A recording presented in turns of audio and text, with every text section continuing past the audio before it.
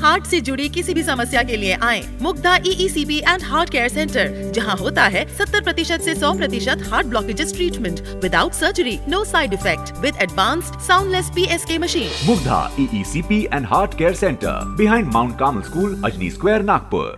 रोज़मर्रा के असंतुलित जीवन में बढ़ती हृदय रोग की परेशानियों के मद्देनजर एमडी मुग्धा एसीपी और हार्ट केयर सेंटर के तत्वावधान से हृदय जागरूकता शिविर का आयोजन किया गया जहाँ थ्री वास्कुलोग्राफी के माध्यम से उपचारकर्ताओं के हृदय की स्थिति का जायजा लिया गया। यदि आप अपने हृदय स्वास्थ्य के बारे में चिंतित है या हृदय रोग के खतरे में है तो कार्टोग्राफी निवारक स्वास्थ्य रणनीति में एक मूल्यवान उपकरण हो सकती है। मानचित्र निरीक्षण कब करें? यदि आपके परिवार में हृदय रोग का इतिहास है, हृदय रोग के जोखिम कारक जैसे उच्च रक्तचाप, मधुमेह या मोटापा, या फिर आपको हृदय रोग के लक्षण है, जैसे सीने में दर्द, सांस लेने में तकलीफ़ या थकान है, साथ ही आज रोज़मर्रा के असंतुलित जीवन में बढ़ती हृदय रोग की परेशानियों के कारण हृदय रोग की संसार बढ़ती जा रही है, जिसको केंद्र में रखते हुए एम टी मुक्ता ईसीपी और हार्ट केयर सेंटर उचित एवं कारगर उपचार मुहैया करा रहा है।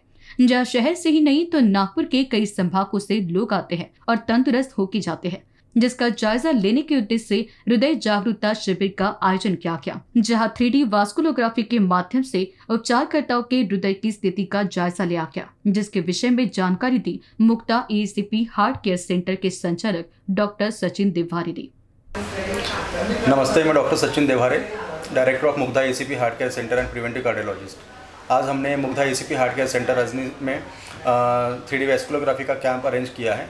थ्री डी वेस्कुलोग्राफी का डिटेल्स तो डॉक्टर नीलम पिंगड़े सर ने आपको बताया ही है। इसके ये बेनिफिट्स होते हैं कि जो पेशेंट्स को हम एंजियोप्लास्टी बाईपास या ई कोई भी ट्रीटमेंट देने के बाद, वो स्टेंट के कारण वहाँ पे फ्लो कितना बड़ा है, कितना परसेंट बड़ा है, उसका नैरो इंडेक्स कितना है, या बाईपास के बाद उनका फ्लो सच में बढ़ा है या ग्राफ बंद हो चुके हैं, या इवन ई के बाद में कोलेटर्स डेवलप होने के बाद वहाँ का ऑक्सीजन सप्लाई बढ़ा या नहीं बढ़ा वो सब हम इस एक एक बहुत नॉन इन्वेजिव और नॉन सर्जिकल इन्वेस्टिगेशन जिसको हम थ्री डी वेस्कुलोग्राफी बोलते हैं, जिसके द्वारा हम आज ये शिविर के द्वारा हम काफ़ी पेशेंट्स का वहाँ पे जाँच करवा रहे हैं।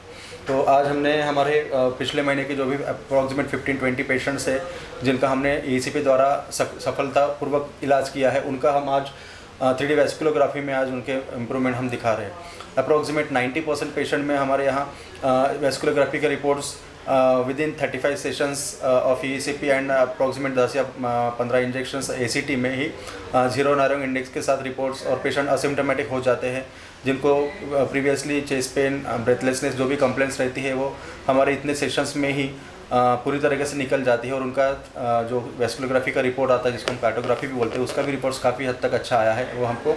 और हमारे पूरे सेंट्रल इंडिया में एक, ऐसा ही एक हॉस्पिटल है जहाँ पे हम एसीपी द्वारा ट्रीटमेंट करने के बाद उनको डॉक्यूमेंटेड रिज़ल्ट दिखाते हैं। कि आपका बिफोर रिपोर्ट ऐसा था और आफ्टर रिपोर्ट ऐसा है। क्लिनिकली को तो पेशेंट हमको बताएँगे ही ज़रूर कि हमको कितना परसेंट उसको फ़ायदा हुआ है, नहीं हुआ। बट उनको डॉक्यूमेंट्स के हिसाब से भी दिखाना ज़रूरी होता है ना। इसलिए हम लोग उनको थ्री डी वेस्कुलोग्राफी के कैम्प द्वारा उनको उनके डॉक्यूमेंट वाइज आपका नैरो इंडेक्स कितना कम हुआ है, आपका ब्लड फ्लो कितना कोलेट्रस द्वारा इम्प्रूव हुआ है, ये सब हम आज के कैंप में उनको दिखाते थे। साथ साथ में भी कोई जो नए पेशेंट हमने कुछ न्यूज़ आर्टिकल्स पेपर एड्स भी हम पब्लिश करते हैं जिसके द्वारा काफ़ी नए पेशेंट्स भी आते हैं जो उनके हार्ट के स्टेटस के बारे में जानना चाहते हैं। उनका हार्ट भला ही हमको बाहर से अच्छा दिखता है बट अंदर में अभी कोई पेशेंट्स को अगर फ्लो कम होना स्टार्ट हो गया ब्लॉकेज डेवलप होना स्टार्ट हो गया, ऐसी कोई भी टेक्निक नहीं है। एनजियोग्राफी में भी हमको अगर block more than twenty thirty percent अगर आता है तो हमको दिखता है, लेकिन बिलो ट्वेंटी परसेंट का ब्लॉक हमको नहीं दिख पाता एंजो या सिटी एंजो में इवन माइक्रोवेस्कुलर डिसीज़ रहा, वो भी हमको बहुत बार पेशेंट्स तो असिम्टोमेटिक सॉरी सिम्टोमेटिक रहते हैं बट एनजियोग्राफी रिपोर्ट नॉर्मल आता है। इसका मतलब उनको हार्ट की डिसीज़ नहीं है, ऐसा नहीं बोल सकते। उनको माइक्रोवेस्कुलर डिसीज़ भी हो सकता है, जो मेन कॉर्नरी आर्टरी के ब्रांचेस होते हैं, जहाँ पे भी ब्लॉक रह सकता है। पर अनफॉर्चुनेटली सिटी एंजियो या एनजियोग्राफी में हम लोग माइक्रोवेस्कुलर डिसीज़ नहीं देख पाते हैं। जो हमको थ्री डी वेस्कुलरग्राफ के रिपोर्ट में हमको माइक्रोवेस्कुलर लेवल तक का भी डिसीज़ हमको यहाँ पे पकड़ में आता है, जिसके द्वारा हम, उनका अगर ट्रीटमेंट प्रीवियसली स्टार्ट कर देंगे तो बड़ा मेजर हार्ट अटैक आने के चांसेस बहुत कम हो जाते हैं। ट्रीटमेंट तो अपने हाथ में है, किस ट्रीटमेंट से करना है बट डेफिनेटली अगर हम वेस्कुलोग्राफी में हम, अगर माइक्रोवेस्कुलर डिसीज़ या मिनिमल ब्लॉक वाला अगर डिसीज़ मिल जाता है, या आपको फ्लो इनिशियली फ्लो कम दिख रहा है तो हम नॉन सर्जिकल ई ट्रीटमेंट द्वारा हम आपका फ्लो इम्प्रूव कर सकते हैं, आपको कोलेटर्स डेवलप करा सकते हैं तो फ्यूचर में अगर कोई नॉर्मल पेशेंट को हार्ट अटैक अगर आता भी है तो भी वो सर्वाइव कर पाएगा। उनको उस मेजर जो भी हार्ट अटैक आएगा, उसका उतना ऐसे सीवियरिटी महसूस नहीं हो पाएँगे। तो ये बहुत अच्छी और बहुत कारागिर टेक्नोलॉजी है जो हम आज हमारे सेंटर पे कर रहे हैं।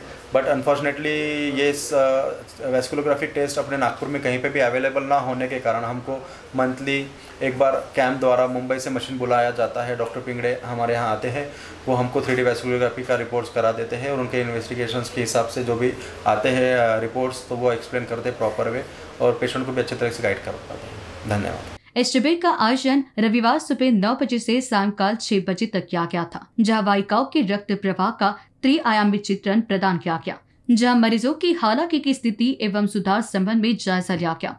गौरतलब है कि थ्री वास्कुलोग्राफी के माध्यम से, बिना किसी इंजेक्शन से मात्र इलेक्ट्रॉन्स और वैट लगाते हुए हृदय की 50 आयामों के विषय में जानकारी दी गई, जिसके पूरे कार्यान्वयन के विषय में जानकारी दी है मुंबई से आए डॉक्टर पिंगले ने नमस्कार मी डॉक्टर पिंगळे मुंबईवरनं आलो आहे थ्री डी वॅस्क्रोग्राफीसाठी नागपूरमध्ये. दर महिन्याला आपला इथे कॅम्प असतो. या याच्यामध्ये आपण हृदयाच्या रक्तवाहिन्यांचा आपण रक्तपुरवठा किती हृदयाला होतो हे आपण तपासलं जातं. आणि ह्या तपासणीमध्ये कुठेही इंजेक्शन कि किंवा कॅथेटर टाकलं जात नाही किंवा कुठलाही इलेक्ट्रिक करंट किंवा एक्सरे किंवा रेडिएशन दिलं जात नाही. आणि एक सिंपल पद्धती तुम्ही बघू शकाल की याच्यामध्ये की सिंपल पद्धतीने हृदयाला इलेक्ट्रॉड लावून बारा ठिकाणी आणि एक वॅट लावून तिथे हृदयाचं मापन केलं जातं. त्याच्यामध्ये हृदयाच्या पन्नास बाबींचा आपल्याला उलगडा होतो. आणि ह्या याच्यामध्ये आपण पुढची आपली लाईफस्टाईल आपण चेंज करू शकतो. काय खायचं काय पियायचं नाही हे आपण त्याच्यामध्ये आयडेंटिफाय करू शकतो. आणि त्याचप्रमाणे हृदयाच्या पूर्ण फिजिओलॉजीचा आपल्याला उलगडा होऊन जातो. आणि ह्या याच्यामध्ये आपल्याला बिफोर ट्रीटमेंट आणि आफ्टर ट्रीटमेंट आपल्याला किती फरक पडला जातो हे आपण तपासलं जातं. आणि ही पूर्ण एक तीस मिनटाची तपासणी आहे. त्याच्यामध्ये आपल्याला काही इजा होत नाही आहे किंवा काही भूल द्यावी लागत नाही. ओ पी डी बेसिसवरती आपण ही ट्रीटमेंट करू शकतो. ज्ञात हो कि इस प्रक्रिया से अन्य आक्रमक नैदानिक प्रक्रियाओं की तुलना में अधिक लागत, प्रभावी विकल्प सुरक्षित और दोहराने योग्य कार्टोग्राफी उपचार की प्रभावशीलता निगरानी समय के साथ हृदय स्वास्थ्य में परिवर्तन की निगरानी के लिए उपयोगी है। यह परीक्षण अन्य नैदानिक परीक्षणों का पूरक है, जिससे हृदय स्वास्थ्य के लिए एक व्यक्तिगत दृष्टिकोण बनाने की दृष्टि से सफल है और एमडी मुक्ता एसीपी और हार्ट केयर सेंटर के तत्वावधान से मुहैया किए गए उपचार में नब्बे से अधिक प्रतिशत उपचारकर्ताओं को फ़ायदा हुआ है। उन्होंने इस समय अपने अनुभव साझा किए। मैं चंद्रपुर से आया हूँ और 35 दिन का मैंने यहाँ पे कोर्स किया हूँ और 15 इंजेक्शन के साथ। और पहले जो मेरे को यहाँ से अपने स्पंदन हॉस्पिटल के अंदर में मार्डिकर साहब ने बताया था कि भाई आपके जो इन जो प्लास्टिक हुई हुई है, इन जो प्लास्टिक के अंदर में साठ परसेंट, सत्तर परसेंट ब्लॉकेज दिख रहा है, आपको बाईपास करना पड़ेगा। मैंने फिर दूसरे से किसी के बोलने के ऊपर मैं, यहाँ पर मैं आया हूँ, Mugdha. C P heart hospital में आया हूँ। यहाँ पे पैंतीस दिन का पूरा कोर्स किया हूँ और पंद्रह इंजेक्शन के साथ में। तो जो ब्लॉकेज जो थे तो ब्लॉकेज में से कुछ कुछ जगह पे जहाँ पे रक्त रक्त जा नहीं रहा था, उस जगह पे अभी रक्त अच्छे से प्रवाह कर रहा हूँ और मेरे को अच्छी प्रकृति लग रही है इस चीज़ से। मला ह्या हॉस्पिटलमध्ये आल्यावर, इथलं वातावरणातली जी ट्रीटमेंट आहेत डॉक्टर जे करतात, ते पाहून इतका आनंद झाला की म्हणजे खूपच. कारण ते स्वतः इतकी सेवा करतात पेशंटची की दुसऱ्या दवाखान्यामध्ये कधी डॉक्टरला मी असं पाहिलं नाही की पेशंटच्या बाजूला येऊन बसले आहेत आणि त्यांच्याशी चर्चा करत घेतली. त्याच्यामुळे मला इथं म्हणजे ह्या हॉस्पिटलमधली ट्रीटमेंट खूप आवडली आणि माझ्या मिस्टरामध्ये माझ्या नवऱ्यामध्ये खूप फरक जाणवला मला की ते व्यवस्थित चालतात राहतात वाकणं नाही काही नाही. म्हणून मी त्यांच्या मनापासून खूप खूप डॉक्टरचे आभार मानते. आणि माझा विश्वास आहे की प्रत्येक येणारा जो पेशंट राहील तो डॉक्टरच्या ह्या कार्यामुळे खूप आनंदित राहील. मी अनिल प्रभाकर घोंगे. मी जुलैमध्ये इथे ट्रीटमेंट घेतली. जुलैमध्ये इथे ट्रीटमेंट घेतली.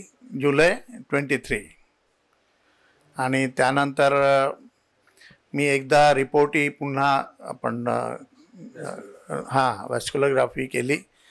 नोव्हेंबरमध्ये. त्यात रिपोर्ट माझी चांगली आली.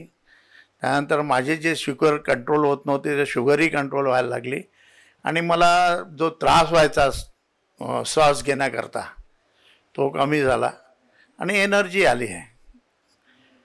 मी माझे जॉब म्हणजे मी डायरेक्टर आहे दोन कंपन्यांचा आणि मला लोड जास्ती राहतं.